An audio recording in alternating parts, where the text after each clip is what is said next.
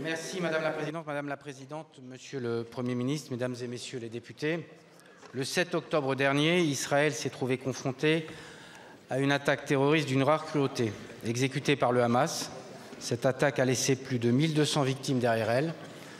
Une année s'est écoulée depuis cette tragédie qui nous a marqués à jamais.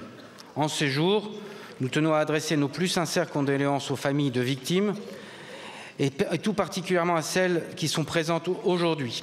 Le groupe Les démocrates s'associe à leur peine ou à leur inquiétude. Nous sommes à vos côtés. Nous n'oublions pas les morts comme nous n'oublierons pas les vivants.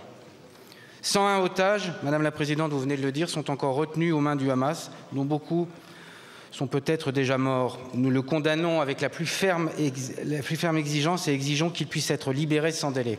Alors que le conflit s'enlise et qu'il s'étend désormais à la frontière du sud Liban et à l'Iran, les perspectives d'apaisement s'éloignent et chaque mort civile est un mort de trop.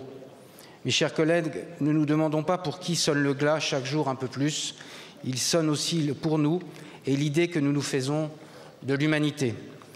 Face à ce conflit historique, la position de la France est claire. Il est urgent de parvenir à une issue par le dialogue diplomatique en vue de réunir les conditions d'une paix durable dans la région. Face à, face à cette crise, il est aussi de notre devoir d'éviter la tentation d'une importation du conflit dans notre pays.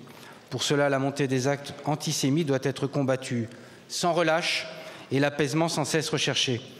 Monsieur le Premier ministre, trouver la paix est une exigence. Elle doit être garantie pour tous.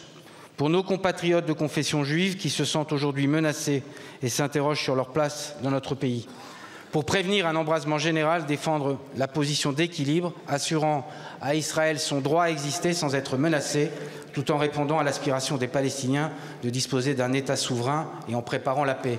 Monsieur le Premier ministre, quelles sont les orientations que vous poursuivez à l'échelle nationale et internationale pour y parvenir? Je vous remercie.